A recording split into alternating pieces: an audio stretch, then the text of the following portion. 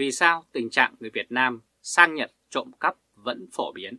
Trong thời gian gần đây, tin tức liên quan đến người Việt Nam đi làm việc hay du lịch ở nước ngoài liên tục phạm pháp trộm cắp đã khiến cho quốc tế có cái nhìn không tốt về người Việt Nam. Trước đây, cựu đại biểu Quốc hội Lưu Bình Nhưỡng đã từng cay đắng thốt lên rằng đây là điều làm nhục quốc thể. Mới nhất vào ngày 5 tháng 10, trang báo Nikkei Asia có một phóng sự du khách Việt Nam mang hàng ăn cắp về nhà để bán kiếm lời với giá cao. Bài báo cho biết công ty Uniqlo, một thương hiệu thời trang được ưa thích tại Việt Nam, đã khiến cho các cửa hàng Nhật Bản của họ trở thành mục tiêu hàng đầu của hành vi trộm cắp có tổ chức. Tại Osaka, ba phụ nữ Việt Nam đã bị bắt vào tháng 2 năm 2024 vì tình nghi ăn cắp nhiều lần tại các cửa hàng của Uniqlo.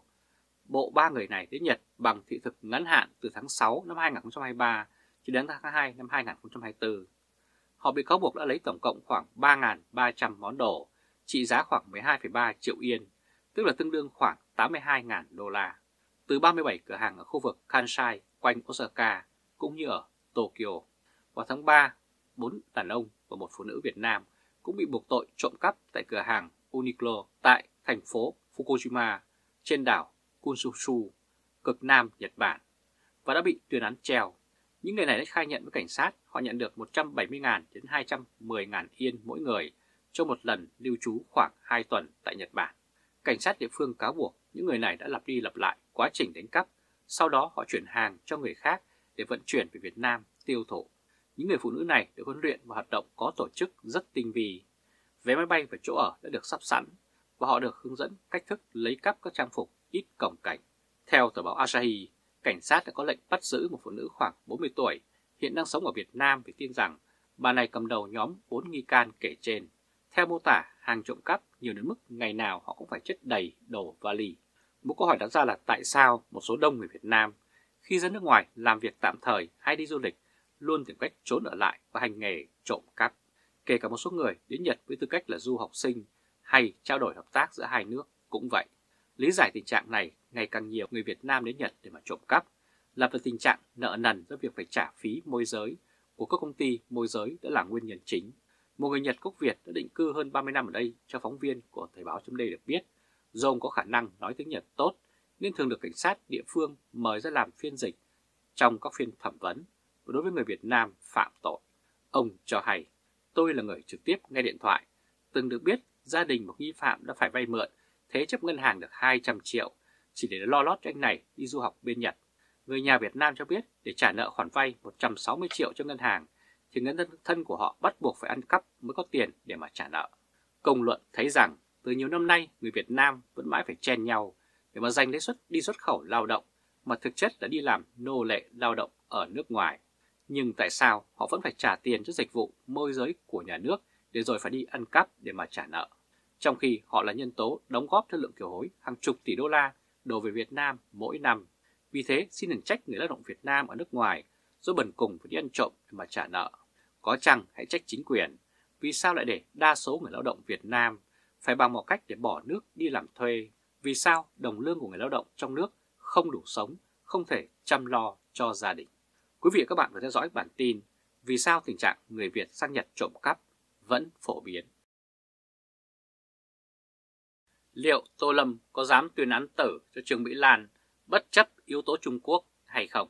Một trong những điểm sáng của cựu Bộ trưởng Bộ Công an Tô Lâm trong vai trò người giúp việc đắc lực cho cố Tổng Bí thư Nguyễn Phú Trọng được công luận đánh giá rất cao. Đó là việc đã quyết định cho điều tra vụ án tập đoàn Vạn Thịnh Phát của bà trùm Trương Mỹ Lan.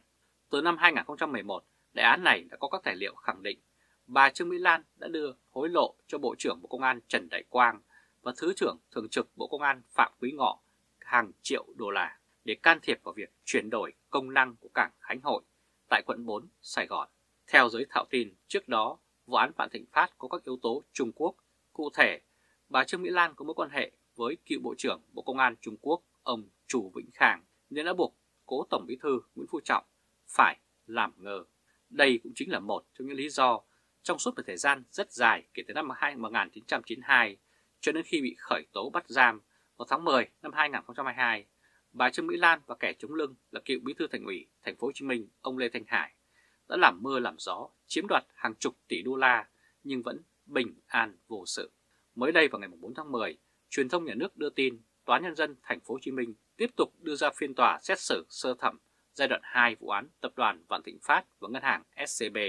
Viện kiểm sát nhân dân thành phố Hồ Chí Minh đã công bố cáo trạng luận tội. Theo đó, bị cáo Trương Mỹ Lan bị đề nghị mức án trung thần. Tuy nhiên, phán quyết vừa kể trên với bị cáo Trương Mỹ Lan được đánh giá là hoàn toàn vô nghĩa. Với lý do bị cáo Lan trong phiên sơ thẩm giai đoạn 1 vào tháng 4 năm 2024 đã bị kết án tử hình, dự kiến đến ngày 19 tháng 10 tới đây, tòa án sẽ tuyên án vụ án này. Theo các cáo trạng, trong vụ án Vạn Thịnh Phát giai đoạn 2, bị cáo Trương Mỹ Lan đã bị buộc và chỉ đạo trực tiếp cấp dưới rửa gần 18 tỷ đô la được rút từ ngân hàng SCB và chuyển trái phép 4,5 tỷ đô la qua biên giới. Trong phiên xét xử vào ngày 4 tháng 10, bị cáo Trương Mỹ Lan khẳng định sẽ trả lại tiền cho các trái chủ. Bà tuyên bố, đừng lo tôi trở mặt, tôi hứa là sẽ làm, đến nay tôi vẫn khắc phục thiệt hại cho các trái chủ.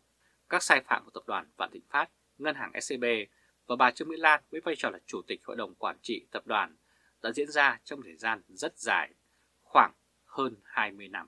Theo giới phân tích quốc tế, đây là vụ án tham nhũng đã gây thiệt hại lớn chưa từng thấy. Nếu vụ án này sớm được điều tra và hoàn toàn độc lập và làm tới nơi tới chốn thì chắc chắn sẽ có nhiều quan chức cấp cao của Đảng Cộng sản Việt Nam phải đứng trước vành móng ngựa. Một phản ứng bất thường của Chủ tịch Mặt trận Tổ quốc Việt Nam ông Đỗ Văn Chiến được cho là đổ dầu vào lửa khi đưa ra tuyên bố như sau. Lòng dân phẫn nộ, xót xa, ai oán vì các hành vi tham nhũng hàng ngàn tỷ đồng tuồn ra nước ngoài mà không ai phải chịu trách nhiệm. Theo giới phân tích quốc tế, cơ quan chống tham nhũng của Việt Nam lâu nay đã không dám cho mở tung cái hũ mắm có tên Vạn Thịnh Phát của bà trùm Trương Mỹ Lan. Việc nhà nước Việt Nam quyết định bơm tới 24 tỷ đô la để cứu ngân hàng SCB cho thấy giới lãnh đạo Việt Nam nói chung và Tổng bí thư Tô Lâm nói riêng đã nhận thấy rõ sự nguy hiểm cũng như để đánh tránh một cuộc khủng hoảng tài chính mang tính dây chuyền có thể dẫn tới sụp đổ hàng loạt ngân hàng tại Việt Nam và dẫn tới hỗn loạn. Nếu không, cứu ngân hàng SCB thì sẽ kéo theo cũng dàn lãnh đạo cấp cao của Đảng cũng chết cả nút. Và liệu bà trùm Trương Mỹ Lan có thoát án tử hình hay không? Và Tổng bí thư Tô Lâm có dám quyết án tử bất chấp yếu tố Trung Quốc hay không? Quý vị và các bạn phải theo dõi bản tin liệu Tô Lâm có dám tuyên án tử hình bà Trương Mỹ Lan bất chấp yếu tố Trung Quốc hay không? Phải chăng Tổng bí thư Tô Lâm đã kiểm soát xong phe quân đội? Trong những ngày gần đây, việc lực lượng hải cảnh Trung Quốc gia tăng bạo lực với ngư dân Việt Nam trên Biển Đông được đánh giá là sự thể hiện thái độ không hài lòng của ban lãnh đạo Bắc Kinh với Tổng bí thư Tô Lâm. Theo một số nhận định, hành động vừa kể trên của Trung Quốc đã bộc lộ một điểm yếu chết người trái với dự báo trước đây cho rằng Bắc Kinh sẽ giật dây cho bộ phận thân Trung Quốc trong đảng để mà tìm cách tạo phản chống lại cuộc cải cách của ông Tô Lâm. Trên thực tế, Trung Quốc được cho là vẫn đang kiểm soát được số đông lãnh đạo cấp cao của Việt Nam là những phần tử trung thành với cố Tổng Bí thư Nguyễn Phú Trọng, đặc biệt là giới tướng lĩnh quân đội, có rất nhiều người nằm trong số này. Vậy tại sao lãnh đạo Trung Quốc lại bộc lộ biểu hiện mất kiểm soát đến như vậy? Phải chăng bộ phận thân Bắc Kinh trong Đảng Cộng sản Việt Nam đang chiếm số đông về mặt số lượng nhưng vẫn không có khả năng xoay chuyển tình thế và phải cầu cứu phương Bắc. Danh sách tham gia chỉ đạo diễn tập phòng thủ thủ đô Hà Nội vừa qua gồm những tướng lĩnh hàng đầu như Bộ trưởng Bộ Quốc phòng, Đại tướng Phan Văn Giang, Chủ nhiệm Tổng cục Chính trị Thượng tướng Trịnh Văn Quyết, Tổng tham mưu trưởng Thượng tướng Nguyễn Tân Cường. Theo một số đánh giá, danh sách này cho thấy vì sao ông Tô Lâm có thể ung dung tiến hành các chuyến công du ngoại quốc dài ngày mà không mảy may lo lắng về sự an toàn của chiếc ngai quyền lực mà ông ta đang nắm giữ. Trái với những đánh giá trước đây, một số nhà quan sát cho rằng Tổng bí thư Tô Lâm mặc dù là bí thư quân ủy Trung ương và được một bộ phận tướng lĩnh quân đội ủng hộ, nhưng trên thực tế ông Tô Lâm không kiểm soát và điều hành được phe quân đội. Trong khi đó, lực lượng tướng lĩnh trong quân đội có biểu hiện thân Trung Quốc do Đại tướng Lương Cường, Thượng tướng Nguyễn Trọng Nghĩa dẫn dắt, thì đa phần từ các tướng lĩnh sĩ quan chính trị đi lên, rõ ràng cũng chẳng làm nên cơm cháo gì. Theo một số ý kiến, dù rằng cách đây chưa lâu, kênh truyền hình quốc phòng đã cáo buộc Đại học Fulbright, một biểu tượng quan hệ giữa Việt Nam và Mỹ, âm mưu làm cách mạng màu, cũng như tại Hội nghị Trung ương 10 vừa qua, đề nghị sửa đổi điều lệ đảng của Tổng bí thư Tô Lâm không được chấp nhận, nhưng những nỗ lực trên không thay đổi được gì nhiều. Trong ít ngày tới đây, theo kế hoạch Quốc hội khóa 15 sẽ nhóm họp kỳ họp thứ 8 vào ngày 20 tháng 10 để bầu bổ sung chủ tịch nước mới, thay thế ông Tô Lâm.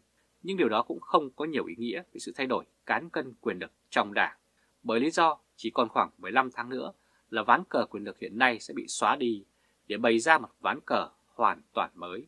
Đó là đại hội lần thứ 14 vào đầu năm 2026. Một vài đánh giá cho rằng đến khi đó, với mức độ gia tăng quyền lực như hiện nay, Tổng bí thư Tô Lâm có thể thừa khả năng làm chủ tình thế. Thậm chí ông có thể thành công trong việc nhất thể hóa hai chức danh Tổng bí thư kiêm chủ tịch nước. Tại thời điểm hiện nay, từ các phân tích vừa kể trên có thể thấy rằng Tổng bí thư kiêm bí thư quân ủy Trung ương Tô Lâm bước đầu đã thành công trong việc củng cố để mà nắm giữ quyền lực tối cao trong quân đội. Đồng thời, việc kiểm soát cả công an và quân đội sẽ tạo điều kiện để ông có thể kiểm soát toàn bộ Bộ Chính trị và Ban Bí thư, tiến tới bỏ qua vai trò của Ban chấp hành Trung ương. Khi đó, toàn bộ quyền lực của Đảng sẽ tập trung vào một nhóm nhỏ do ông Tô Lâm kiểm soát và trực tiếp điều hành mà trung tâm đó là nhóm Hưng Yên của ông. Tuy nhiên, việc tập trung quyền lực của ông hiện nay chắc chắn sẽ động chạm đến quyền lợi và lợi ích của các cá nhân và phe cánh khác. Cũng chắc chắn ông Tô Lâm sẽ vấp phải sự phản kháng hay sự chống đối công khai. Và chúng ta hãy cùng chờ xem. Quý vị các bạn đã theo dõi bản tin Tổng bí thư Tô Lâm kiểm soát xong phe quân đội. Quý vị và các bạn hãy chia sẻ video này cho nhiều người biết và bấm nút theo dõi YouTube và Facebook của Thời báo .de để luôn được cập nhật những bản tin mới nhất, nhanh nhất và trung thực nhất. Từ Berlin, Cộng hòa Liên bang Đức chào các bạn. Hẹn gặp lại các bạn ở bản tin lần tới. Trung Khoa Thời báo Chấm đề.